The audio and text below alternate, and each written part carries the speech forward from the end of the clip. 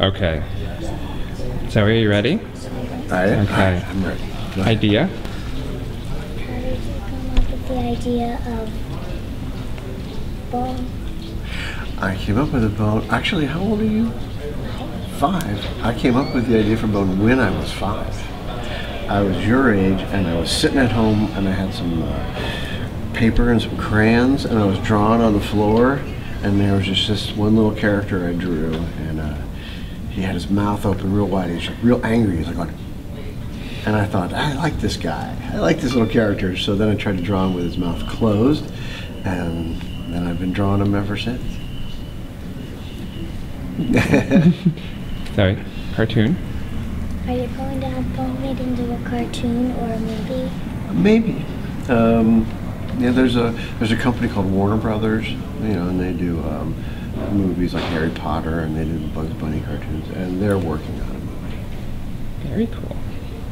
Okay. Cousins?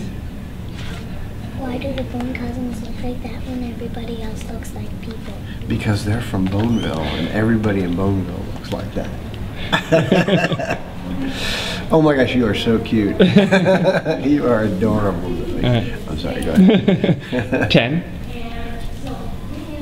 You started drawing the Bone cousins when you were 10. How did you know they were so special and kept on drawing? That's a very good question. Um, well, it was sort of like I was saying. Uh, when I started drawing them, there was just something about the characters that seemed kind of real to me, like they were alive almost. You kept going. And I kept going. Do you like making? Do you like making comics?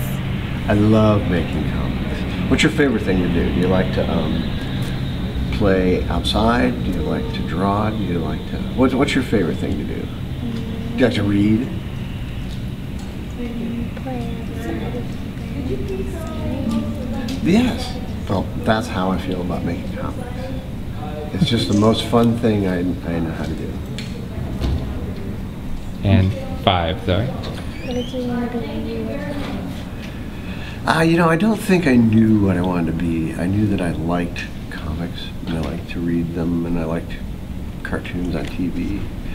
But um, I don't think I knew what I wanted to be when I was five. Although I kind of ended up being a cartoonist and that's what I was doing when I was five.